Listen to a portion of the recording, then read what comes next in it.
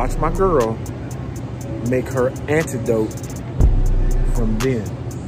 So this drink right here is something I have been making for over 10 years. There are articles written back in 1994 that this is one of the most powerful drinks you can put into your body for swollen lymph nodes. It helps to boost your immunity. People who are constipated, if it's going in, it should be coming out. a constipation, low energy, and helps your lymphatic system to get rid of that waste, baby. Going to take the whole lemon. We are using all of it, baby. The rind, the pit, the seeds, the pulp. Make sure it's organic and please make sure you clean it. Cut it into four pieces into the blender. Filtered water. Now that we need this money. Ooh.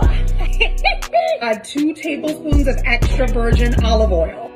To sweeten it a little bit, one tablespoon of honey. Option to add one small knob of ginger. It's also an anti-inflammatory. The problem is I had my ginger, that little knob rolled off somewhere. Where'd you oh, go, ginger?